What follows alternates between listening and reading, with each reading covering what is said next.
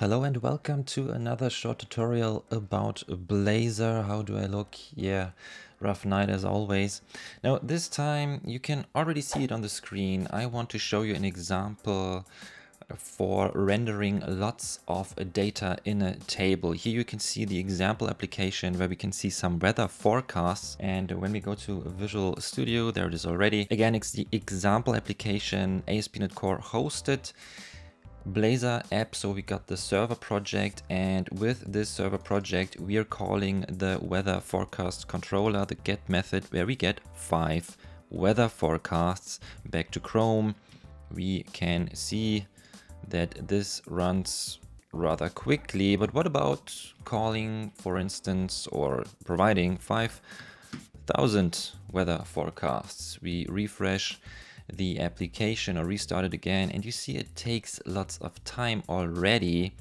And we will reload the page in a second while running the performance thingy here. So let's just start profiling and reload the page.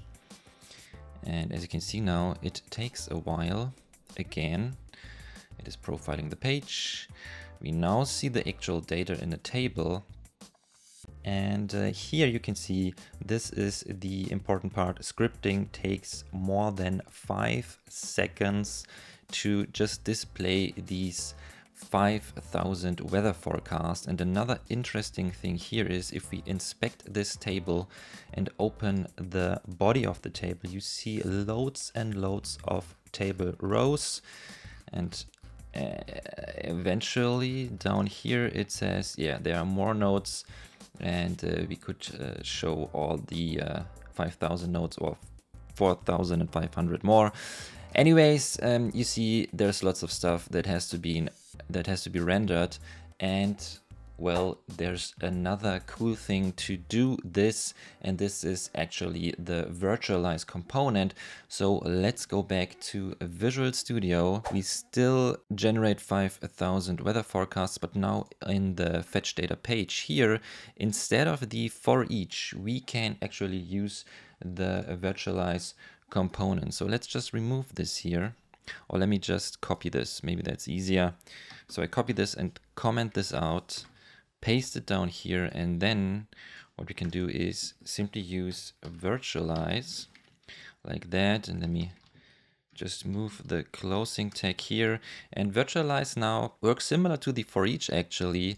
Uh, it takes some parameters though and the first one are the items. And this is our forecasts array again similar to the for each and then we need a context, and this is our single entry then uh, of this array. And in our case, it's forecasts. And that's everything you have to do. There's more to this component, but let's keep this tutorial short. At least it's the Blazor Shorts category. Uh, so I saved this and I think it has all, no, now it's reloading. You see that rendering takes much less time, but let's do it with the performance with the profiler again. So we reload the page.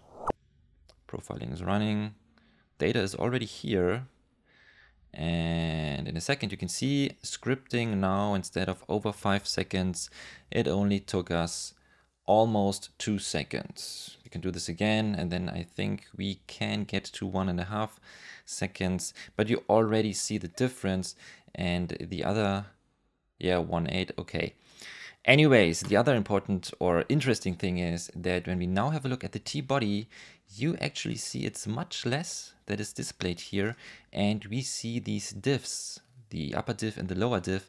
And when I now scroll down, you see that the height is changing. So we really just see uh, these table rows that are displayed on the screen. And when I scroll, uh, we see other table rows that have to be or that will be displayed on our page. You can see here that the first one is changing.